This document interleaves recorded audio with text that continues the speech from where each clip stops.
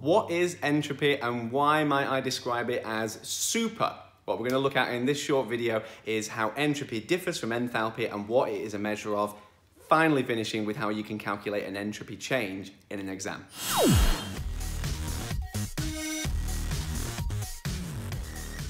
Hi everyone and welcome back. What we're going to be looking at here is a nice simple description of what entropy is for your chemistry A level and then we're going to see how we can calculate the entropy change of reaction or predict the entropy change of a reaction. So just looking at the reaction equation, how we can anticipate what that entropy change would be as that's a really common question in some OCR exams. What we need to look at first then is what entropy actually is. Now entropy is a measure of the dispersal of energy in a system.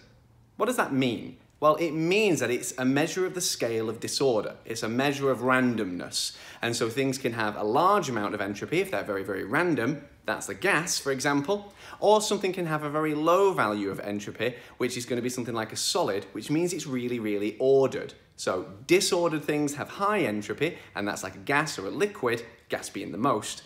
And solids have got a very high level of order, low level of disorder, and so that makes them have a very, very low entropy value. The units of entropy as well seem a little bit unfamiliar at first. They're joules per Kelvin per mole. And that's where it's really different to a lot of the other stuff you do at A level, like delta G and delta H, which use kilojoules. What that means is whenever you're using entropy in the delta G expression, which is the Gibbs free energy expression, you need to make sure that you've divided the entropy change by a thousand. Now, I don't want to jump the gun too much, so I'm going to come back to entropy changes in a moment. First off, though, let's look at how we could predict it from a chemical reaction. Now, looking at a chemical reaction, you can predict the entropy change by looking at two different things. The first thing you can look at is state symbols. Are we changing states from something with lots of order to something with lots of disorder or less order? Now, you would look at your state symbols, and the big one to keep an eye out for is gas. So have you got solids going to gas, or liquids going to gas, or gas going to solid? If you are transitioning towards a gas, then what you need to bear in mind is that's going to be a massive, enormous increase in entropy, and so that's going to be a positive entropy change in that reaction. So keep an eye out for gas moles if you're going to them. It's a very, very positive change in entropy.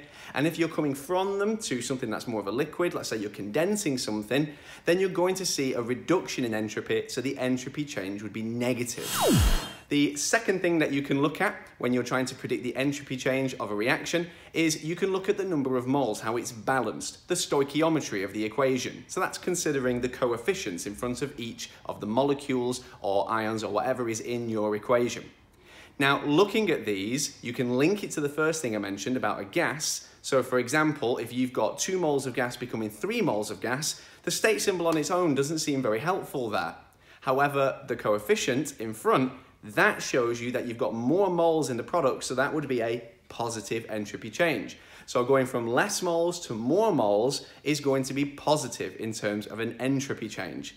Do be careful with that though. Keep an eye on gaseous moles.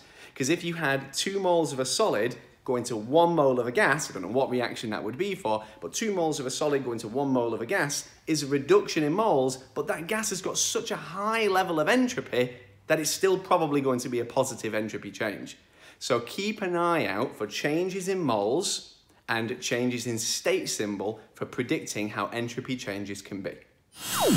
The other thing we can talk about is how you could calculate it from given values. So what happens if you're actually given entropy values? Well, you need to remember that entropy is super.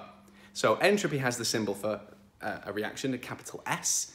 And so S equals products minus reactants. And so entropy change, delta S, equals products minus reactants, which if you put a U and an E in there, reads like super. I know, it makes you die a little inside, it's a bit cringy, but when all else fails in the exam, you'll remember it and it'll help you feel a little bit more secure on the day. You've got to trust me with this. I've been teaching this for years. I know that that will help you feel a little bit more relaxed on the day. Just don't forget to divide it by 1,000 if you then have to use it in the delta G expression later down the question. I hope that gives you a nice little description of what entropy is. Don't forget to subscribe at the end of this video, so click the little subscribe symbol now and click the little bell as well and you'll keep up to date with all the things that we upload throughout the year which will give you the best chance of getting an A or an A star in your chemistry A level. I'll leave you to the rest of our playlist and videos. Happy revising.